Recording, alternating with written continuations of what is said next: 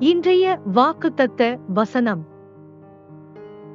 மத்தேயு ஏழாம் அதிகாரம் பதினைந்தாம் வசனம். கள்ளத்தீர்க்கதரிசிகளுக்கு எச்சரிக்கையாயிருங்கள்.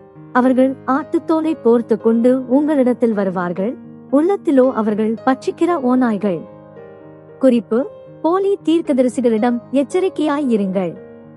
உங்களிடம் வரும் போலி தீர்க்கதரிசிகள் செம்மறியாட்டைப் போல இனிமையானவர்களாக காணப்படுவார்கள்.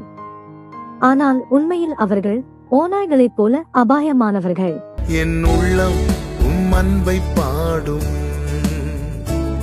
என் நாவு உம் நாமம் போற்றும். என் இதயம் உம்மில் மகிழும்.